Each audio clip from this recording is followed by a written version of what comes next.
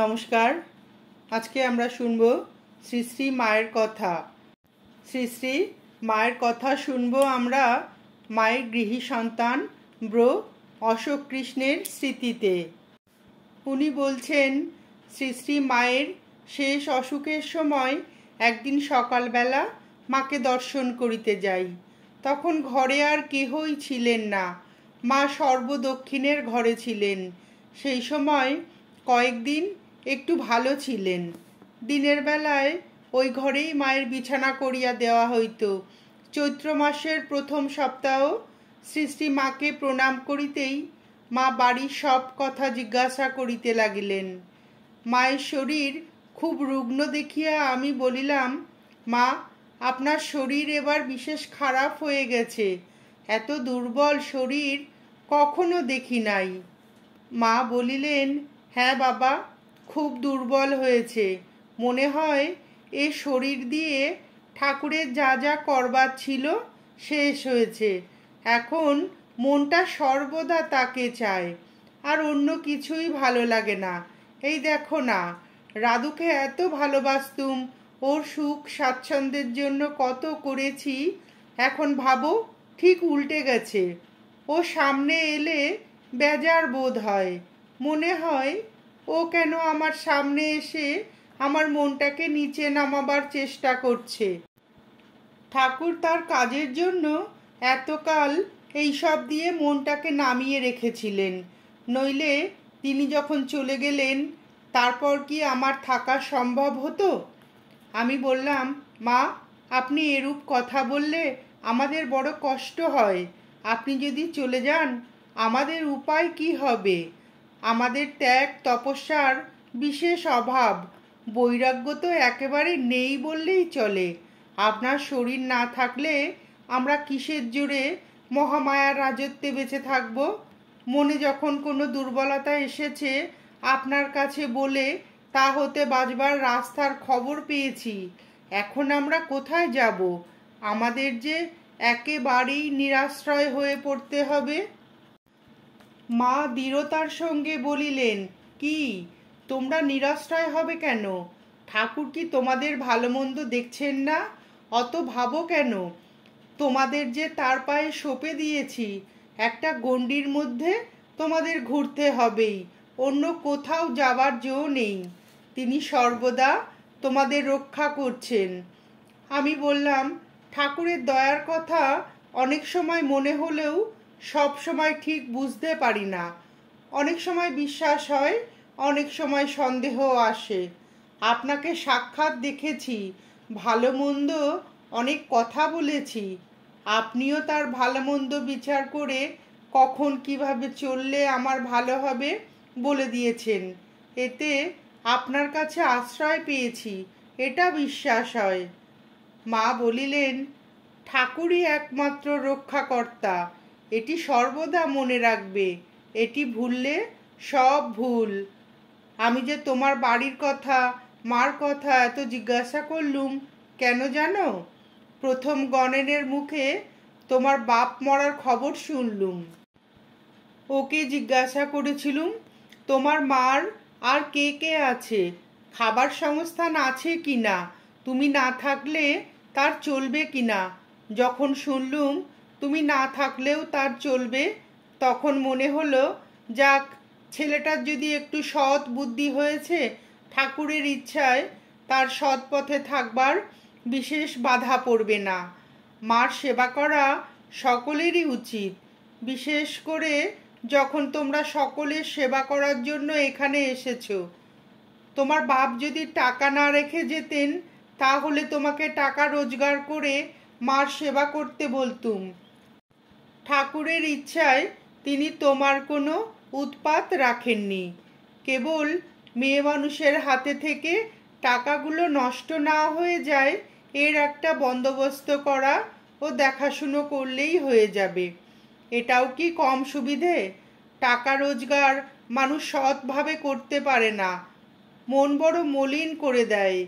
এই জন্য তোমায় বলছি টাকা কড়ির ব্যাপার যত শিগগিরই সম্ভব সেরে ফেলো। বেশি দিন ওসব নিয়ে থাকলেই ওতে একটা টান পড়বে। টাকা এমন জিনিস, মনে করছ ওতে আমার টান নেই, যখন একবার ছাড়তে পেরেছি, তখন আর টান হবে না, যখন ইচ্ছা চলে আসব। না, এ কথা কখনো মনে ভেবো না। কোন ফাঁক দিয়ে তোমার গলা টিপে ধরবে, তোমায় বুঝতেও দেবে না। বিশেষ করে তোমরা কলকাতার ছেলে টাকা নিয়ে খেলা করতে তোমরা জানো। যত শীঘ্র পারো, মার বন্দোবস্ত করে কলকাতা থেকে পালিয়ে যাও। আর মাকে যদি কোনো তীর্থস্থানে নিয়ে যেতে পারো, দুজনে বেশ ভগবানকে ডাকবে মা বেটার সম্পর্ক ভুলে। এই শোকের সময় মার মনে খুব কষ্ট। এটি হলে বেশ হয়। তোমার মারও তো বয়স হয়েছে, তাকে খুব বোঝাবে। এইসব কথা মার সঙ্গে কইবে। মার পথের সঞ্চয় করবার সাহায্য করতে পারো, তবেই তো ঠিক ছেলের কাজ করলে। তার বুকের রক্ত খেয়ে যে এত বড় হয়েছ, কত কষ্ট করে তিনি তোমায় মানুষ করেছেন। তার সেবা করা তোমার সবচেয়ে বড় ধর্ম জানবে। তবে তিনি যদি ভগবানের পথে যেতে বাধা দেন, তখন অন্য কথা। তোমার মাকে একবার এখানে নিয়ে এসো না, দেখব কেমন। যদি ভালো বুঝি দু একটা কথা বলে দেব। কিন্তু সাবধান, মার সেবা করছি ভেবে বিষয় নিয়ে মেতো না। একটা বিধবার খাওয়া পড়া বই তো নয়, কত টাকাই বা চাই। কিছু লোকসান দিয়েও যদি তাড়াতাড়ি বন্দোবস্ত হয়, তার চেষ্টা করবে। ঠাকুর তো টাকা ছুতেই পারতেন না। তোমরা তার নামে বেরিয়েছ, সব সময় তার কথা ভাববে। জগতে যত অনর্থের মূল টাকা, তোমাদের কাঁচা বয়স। হাতে টাকা থাকলেই মন লোভ দেখাবে। সাবধান, আমি বললাম, আমার মনে হয়েছিল আমার মাকে একদিন আপনার কাছে আনব, কিন্তু আপনার শরীর দেখে আর আনবার ইচ্ছা হচ্ছে না। মা বললেন, না না, একদিন নিয়ে এসো। কত লোক তো আসছে, আর শরীর তো দিন দিন খারাপ হবেই। শিগগির শিগগির নিয়ে এসো। সকালবেলাটায় শরীর মন্দ থাকে না। সকালবেলা আনতে পারবে না। বেশি বেলা করো না, দেরি হলে এরা তো আসতে দেবে না। আমি বললাম, মা, আপনার কথা শুনে বড় কষ্ট হচ্ছে। বারবার নিজের শরীর সম্বন্ধে যেসব কথা বলছেন, তাতে মনে হয় শরীর ধরবার আর আপনার কোনো ইচ্ছা নেই। মা বলিলেন এ শরীর থাকা না থাকা আমার হাতে নয়, তার ইচ্ছা। তোমরা এত ব্যস্ত হচ্ছ কেন? এই আমার কাছে তোমরা কত সময়ই বা থাকো, কখনো মঠে, কখনো বা বাইরে থাকো। আমার সঙ্গে কথাবার্তা কইবার বা কাছে থাকবার কয়জনে সুবিধা হয়? তোমরা তো কখন কোথায় থাকো খবর পর্যন্ত দাও না। আমি বলিলাম আমাদের থাকিবার সুবিধা হয় না বটে, কিন্তু আমাদের মনে বিশ্বাস আছে, আপনি আছেন। মনে যখন দুর্বলতা আসবে, আপনার কাছে আসলেই দূর হয়ে যাবে। মা বললেন, তোমরা কি মনে করো, যদি ঠাকুর এই শরীরটা না রাখেন, তাহলেও যাদের ভার নিয়েছি, তাদের একজনও বাকি থাকতে আমার ছুটি আছে? তাদের সঙ্গে থাকতে হবে, তাদের ভালো মন্দের ভার যে নিতে হয়েছে মন্ত্র দেওয়া কি চারটিখানি কথা? কত বোঝা ঘাড়ে তুলে নিতে হয়। তাদের জন্য কত চিন্তা করতে হয়। এই দেখো না, তোমার বাপ মারা গেলেন, আমার মনটাও খারাপ হলো। মনে হলো, ছেলেটাকে ঠাকুর কি আবার একটা পরীক্ষায় ফেললেন? কিসে ঠেলে ঠুলে বেঁচে উঠবে এই চিন্তা? সেই জন্যেই তো এত কথা বললুম। তোমরা কি সব বুঝতে পারো? যদি তোমরা সব বুঝতে পারতে, আমার চিন্তার ভার অনেক কমে যেত। ঠাকুর নানানভাবে নানাজনকে খেলাচ্ছেন। টাল সামলাতে হয় আমাকে। যাদের নিজের বলে নিয়েছি, তাদের তো আর ফেলতে পারি না। আমি বললাম, মা, আপনার অবর্তমানে কার কাছে যাব? কি হবে? ভাবতে গেলে বড় ভয় হয়। মা বলিলেন, কেন? এই রাখাল টাকাল এইসব ছেলেরা রয়েছে, এরা কি কম? তুমি তো রাখালকেও খুব ভালোবাসো, তার কাছে জিজ্ঞাসা করে নেবে, কি আর জিজ্ঞাসা করবে? বেশি জিজ্ঞাসা করা ভালো নয়, একটা জিনিস হজম করতে পারে না। আবার দশটা জিনিস মনের মধ্যে পুড়ে, এটা না ওটা কেবল এই চিন্তা, যে জিনিস পেয়েছ তাতেই ডুবে যাও, জব ধ্যান করবে সৎসঙ্গে থাকবে, অহংকারকে কিছুতেই মাথা তুলতে দেবে না। দেখছ না, রাখালের কেমন বালক ভাব, এখনও যেন ছোট ছেলেটি। শরৎকে দেখো না, কত কাজ করে, কত হাঙ্গামা পোয়ায় মুখ বুঝে থাকে। ও সাধু মানুষ। ওরা এত সব কেন? ওরা ইচ্ছা করলে দিনরাত ভগবানে মন লাগিয়ে বসে থাকতে পারে। কেবল তোমাদের মঙ্গলের জন্য এদের নেমে থাকা। এদের চরিত্র চোখের সামনে ধরে রাখবে, এদের সেবা করবে। আর সর্বদা মনে ভাববে, আমি কার সন্তান, কার আশ্রিত? যখনই মনে কোনো কুভাব আসবে, মনকে বলবে, তার ছেলে হয়ে আমি কি এ কাজ করতে পারি? দেখবে, মনে বল পাবে, শান্তি পাবে।